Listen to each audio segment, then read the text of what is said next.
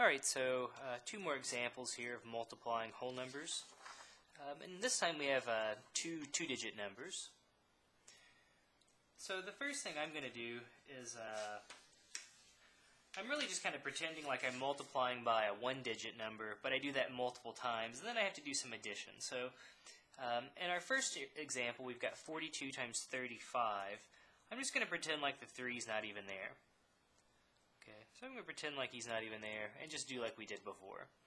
So 5 times 2 is 10, so I'm not going to write it all down this time. Um, we'll keep the 0 and we'll carry the 1. 5 times 4 is 20. We add 1. That'll give us, well, 21. Okay, so now I've taken that digit and I've multiplied him by everything on top.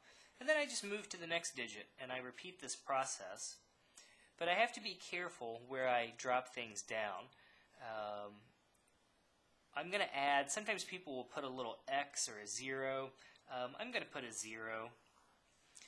Okay, so uh, we'll do 3 times 2, which is going to be 6. And that makes sense, really, because if you think about it, this is kind of like having a 30, you know, if you think about that as being a 0. Um, 30 times 2 would give us 60, so it does, uh, you know, it, it, shouldn't be a 6 at all. Um, so then, uh, nothing to carry. 3 times 4 is 12. And now what we're going to do is we're, we're just going to add all this stuff together. 0 plus 0 is 0. Uh, 1 plus 6 is 7. 2 plus 2 is 4. And then uh, you can think about that as being a 0 plus 1 is 1. So it says if we multiply 42 times 35, we'll get 1,470 as our solution. So let's do uh, one more here.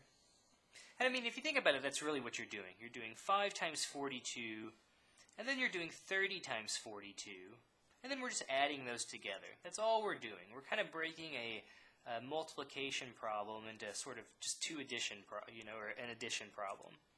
Okay, That's really all this process does. All right, same thing. 8 times 7, that's 56. So I'm going to keep the 6 and carry the 5. Let's see, 8 times 6 is 48. 48 plus 5 is going to be 53. And now I'm going to do, so there's the 8 times 67.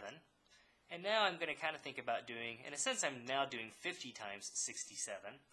So I'm going to drop down my 0. So let's see, 5 times 7. I'm going to scratch out that number. I used to always uh, accidentally use it again. So I'm going to get rid of it. I'm done with it.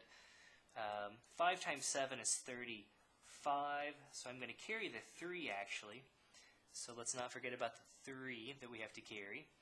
Um, 5 times 6 is 30, and then if we add 3, that'll give us, well, 33. And again, we just do our addition. So 6 plus 0 is 6, 3 plus 5 is 8, well, 5 plus 3 is 8, and then 0 plus 3 is 3. So it says if we multiply, we'll get 3,886 as our answer.